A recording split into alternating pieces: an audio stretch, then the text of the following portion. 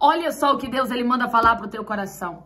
Quando o teu banquete estiver pronto, quando a cadeira de honra estiver preparada e nela você estiver assentado, vai ter gente que vai ter desejado ter te apoiado mais neste lugar. Porque Deus manda dizer assim para você: Ei, estou eu trazendo uma prosperidade, não é só financeira, não. É em todas as áreas da tua vida que vai ter gente que vai se arrepender de não ter investido na tua vida quando pôde. Você tá entendendo? Porque tem gente que poderia ter te dado uma palavra de ânimo e não te deu. Tem gente que poderia, ei, ter te atendido e não te atendeu. Tem gente que poderia ter te ajudado e não te ajudou. Porque achou que você nunca sairia deste lugar lugar, porque achou que o que está na tua mão nunca iria prosperar, porque achou que os teus sonhos nunca iriam se realizar neste lugar, não é desse jeito? É, olharam para você lutando por aquilo que você sabe, acredita, deseja, por tudo aquilo que Deus te prometeu?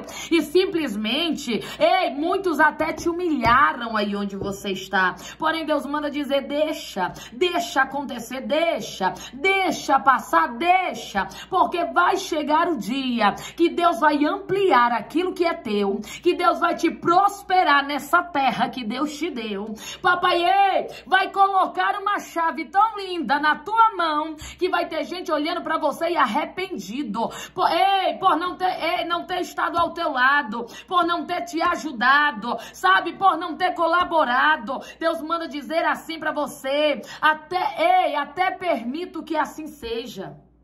Porque o que eu farei na tua vida é coisa tão grande. O que eu te darei é coisa tão extraordinária que se alguém colocar a mão vai querer se vangloriar.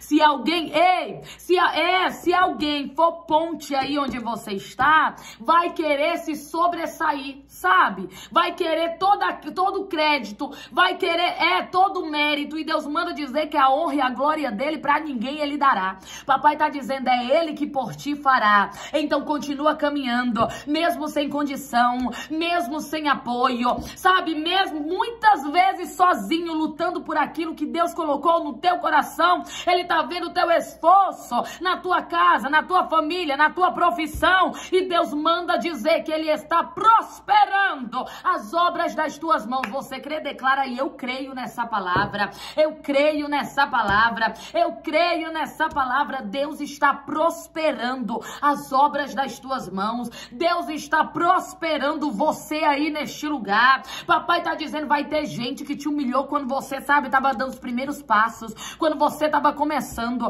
quando você ainda estava estruturando, mas quando vê você ampliado e expandido, próspero, irá se arrepender de não te ajudar, porque Deus coisas grandes por você aí nesse lugar fará. Tem prosperidade de Deus chegando para você em todas as áreas da tua vida. Você crê uma posse recebe? Então declara aí, eu tomo posse dessa palavra.